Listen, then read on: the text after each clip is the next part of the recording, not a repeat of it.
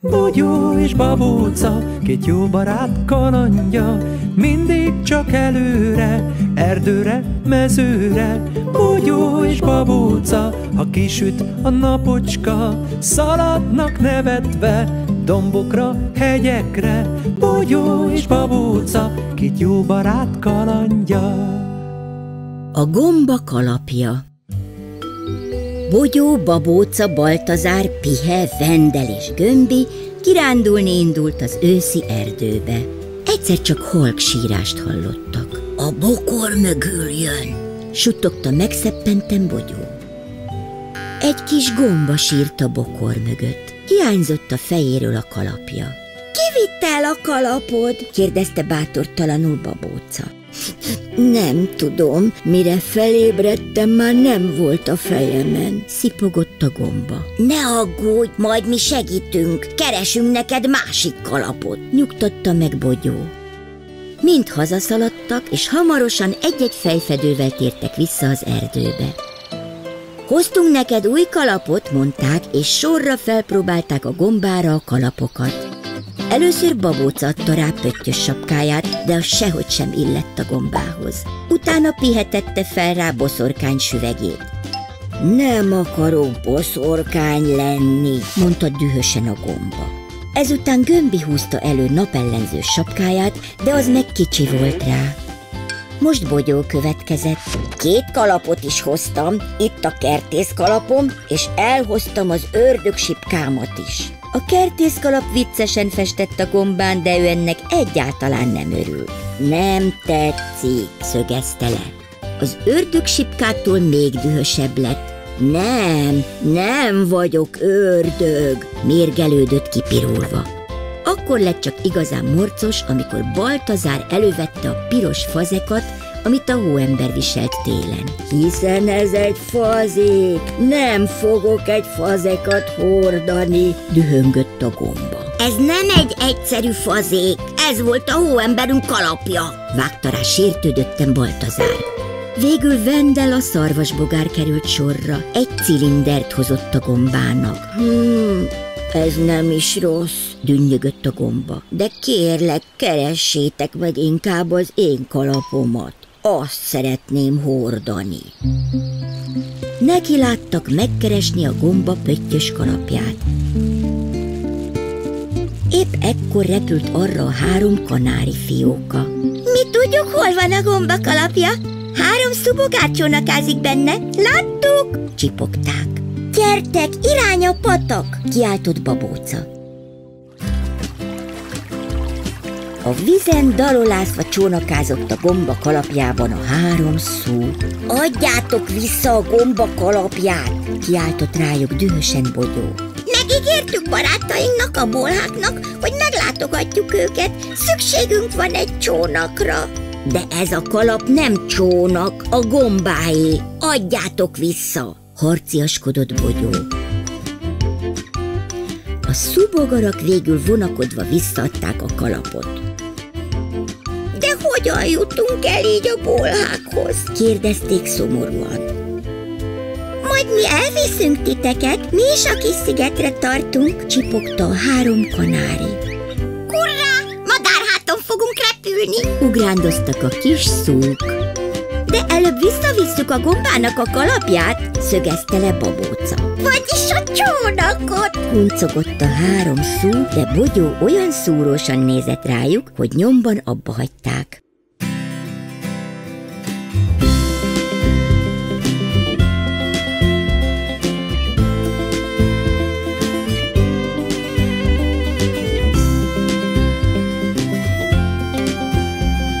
Köszönöm, mondta boldogan a gomba, és elégedetten mosolygott, mintha csak rámöntötték volna. A szúbogarak felpattantak a három kismadár hátára.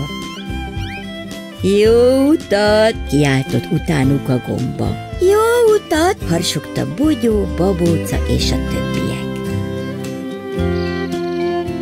Mindannyian búcsút vettek a gombától, és kalapjukat fejükbe nyomva elindultak hazafelé.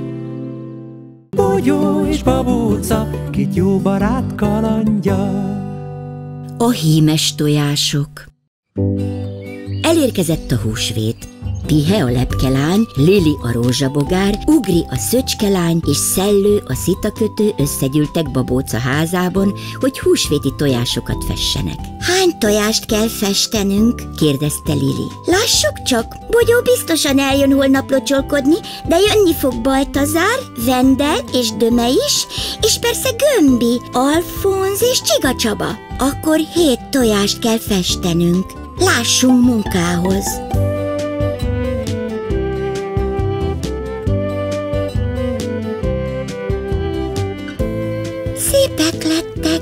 Biztosan örülni fognak holnap a fiúk, állapította meg Pihe. Ideje hazaindulni, holnap korán kelek, palacsintát fogok sütni, azzal várom majd a locsolóimat, mondta Pihe. Én pogácsát sütök, mondta Lili. Én pedig rétest, tette hozzá babóca, és kikísérte a lányokat.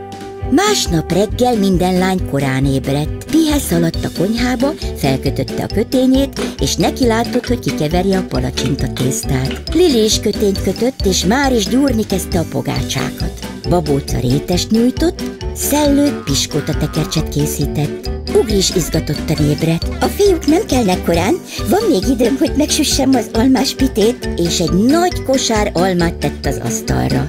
De jaj, a kosár hirtelen megbillent, az almák kigurultak, és lesodorták az asztalról a hímes tojásokkal teli tálat. A sok tojás mind összetört. Jaj, a hímes tojások, most mit csináljak? Mit adok a locsolóknak? Kétségbesve szaladt babócához. Babóca, összetört az összes hímes tojásom, mind a hét, segíts! Nem érek rá, Ugri, süteményt sütök, de marad két festetlen tojásom, ezt odaadom. Fest ki gyorsan, készen leszel, mire megjönnek a fiúk. Lili, darabokra törtek a tojásaim. Tudsz segíteni? Nem tudok, sülnek a pogácsáim. Fogd ezt a három fehér tojást, még van időt kifesteni. Pihe, segíts! Újra kell festenem a tojásokat, mind összetört. Mind összetört? Sajnálom, Ugri, de most nem mehetek veled, odaégne a palacsinta. Itt van ez a két festetlen tojás, neked adom. Szellő, baj van, összetörtek a tegnap festett tojásaim. Kérlek, segíts, egyedül nem tudok hét tojást újra festeni, alig van már idő, panaszolta Ugri. Tudom már, ki segíthet, gyere utánam. Szaladtak az erdőn át egészen a barlangig. A következő pillanatban álmosan előbújt a barlangi pók. Kedves pók, segítened kell, kezdte Szellő. Ugrinak összetörtek a hímes tojásai, és most hét új tojást kell festenie. Nincs sok idő, mindjárt jönnek a fiúk locsolni, addigra készen kell lenni. Nem bánom, dünnyögte a pók. Köszönöm, nagyon kedves vagy, szipogta Ugri, és elköszönt szellőtől. Ugri ecsetet, festéket vett elő, és a pókkal együtt munkához látott. A pók egyszerre három tojást is ki tudott festeni. Készen vagyunk, mondta boldogan Ugri. Megköszönte a pók segítségét, és elrendezte a tojásokat a tálon. Ebben a pillanatban már kopogtattak is az ajtón. Ugri ajtót nyitott, és a hét fiú egyszerre belekezdett a locsoló versbe. Ezt a kislányt megöntözöm, a szép tojást megköszönöm. Mind a heten meglocsolták Ugrit. A szöcskelány büszkén nyújtotta feléjük a tálat, a fiúk pedig választottak egy-egy színes tojást. Süteményem sajnos nincs, szólt halkan Ugri, és elmesélte, mi történt. Emiatt ne aggódj, nevettek a fiúk. Babócánál rétest ettünk, Lilinél pogácsát, Pihénél palacsintát, Szellőnél pedig piskótát. Egy falat sem férne már a hasunkba, mondták a fiúk, és nagyot nevettek. Bogyó és babóca, két jó barát kalandja. Gombócok Egy őszi napon babóca a Katica lány szilvás gombócot főzött, és meghívta a barátait ebédre. Eljött Bogyó, Baltazár, Vendel és Pihe. Együtt megterítettek és asztalhoz ültek. A Katica lány három gombócot tett minden tányérba. Bogyó, Babóca és Pihe hamarosan jól is laktak. Hmm, szilvás gombóc, imádom! Akár ötöt is meg tudok enni, mondta Baltazár a méhecske. Még hogy ötöt, én hetet is, vágta rá Vendel. Hetet? Jó, akkor én nyolcat. Én pedig tizet, jelentette ki a szarvasbogár. Jó, akkor versenyezzünk, zárta le a vitát Baltazár. Lássuk, melyikünk tud több gombócot enni. Babócának nem tetszett a dolog, megpróbálta őket lebeszélni, de a fiúk hajthatatlanok voltak. Ennek nem lesz jó vége, figyelmeztette őket, de Baltazár és Vendel nem hallgattak rá. Eddig három gombócot ettünk, most jöjjön a negyedik, javasolta Vendel, és újabb gombócot pakolt mindkét tányérba. Amikor mindketten végeztek, újabb gombócot vettek, és megették az ötödiket is. Az ötödik után megették a hatodikat, a hatodik után megették a hetediket, a hetedik után megették a nyolcadikat, és utána a kilencediket. Most jön a tizedik, bírod még? kérdezte Baltazár. Ugyan, kétszer ennyit is meg tudok enni, legyintett lazán Vendel. Már nagyon sok gombócot megettek, amikor mindkettejüknek fájni kezdett a hasa. Egyre jobban és jobban fájt. Elszaladok Bakoly doktorért, mondta Pihe, a lepke kislány. Bagoly doktor megvizsgálta őket, és dühösen szónokolni kezdett. No hát, a kilátott már ilyet? Persze, hogy fáj a hasatok. Mindketten tizenöt gombócot ettek. Na tessék, ráadásul döntetlen lett a verseny. Három napig diétázni fogtok. Semmi más nem ehettek, csak főtt krumplit. De éppen holnap jön az erdőnkbe a kürtös kalács árus. Szólalt meg kétségbeesve Vendel. Nagyon sajnálom, de most kimaradtok a kürtős kalácsból. Három nap múlva gyertek el hozzám, hogy újra megvizsgáljam a hasatokat. Szólt szigorúan Bagoly doktor, és már indult is haza.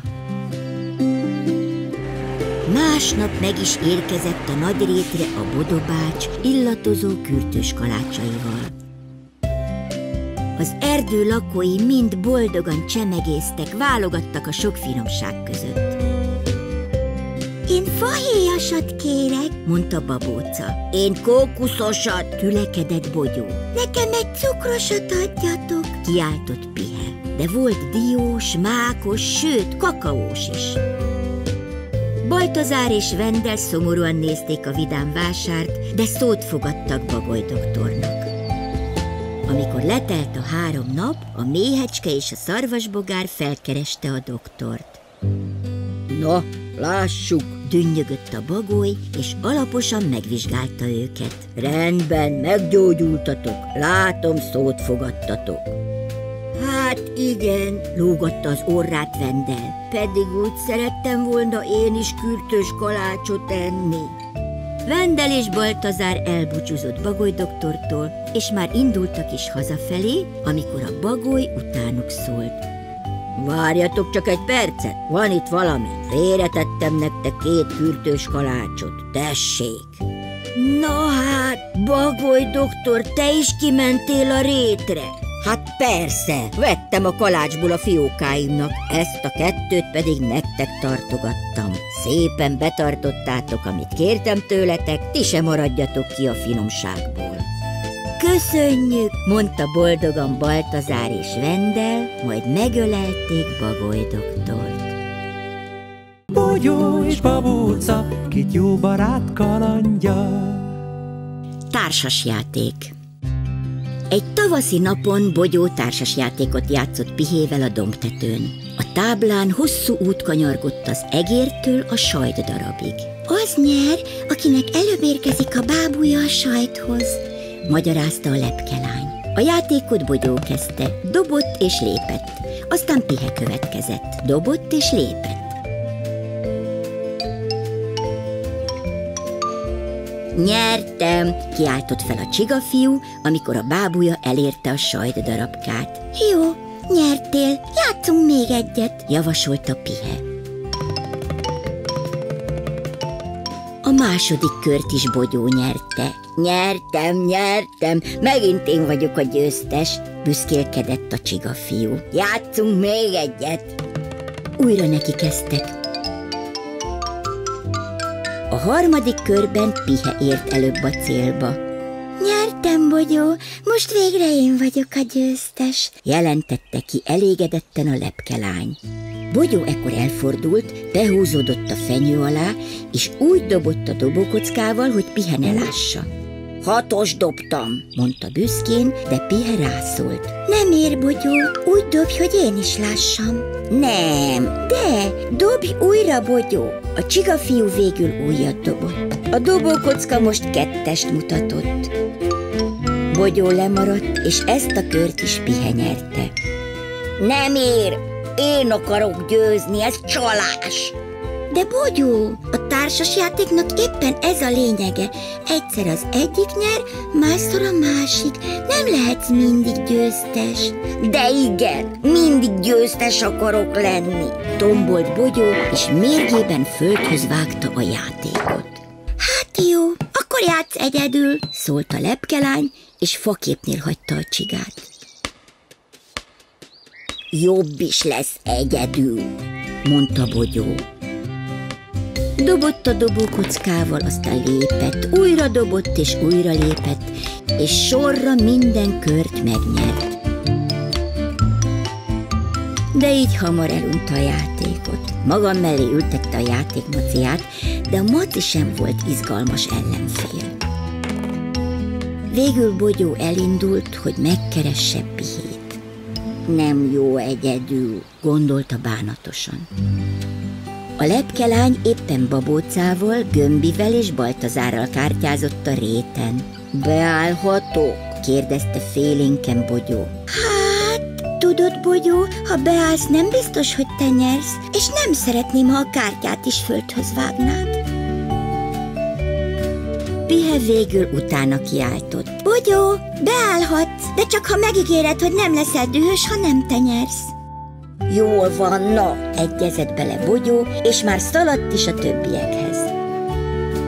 Sötétedésig kártyáztak együtt. Egyszer Bogyó nyert, máskor Pihe, de Gömbi, Baltazár és Babóca is nyertek egy-egy kört. Bogyó boldog volt, hogy együtt játszhat a barátaival, és már nem volt dühös, ha nem ő nyert. Egyszer csak arra repült Vendel a szarvasbogár, és lekiáltotta magasból. Nézzétek, faragtam nyársrudakat, gyertek, rakjunk tüzet, süssünk almát! Ez az ötlet mindenkinek tetszett. Eljött Döme, a krumplibogár is. Az almákat felszeletelték, felhúzták a nyársakra, és amikor a tűzből már csak parázs maradt, sütni kezdték a gyümölcsöt.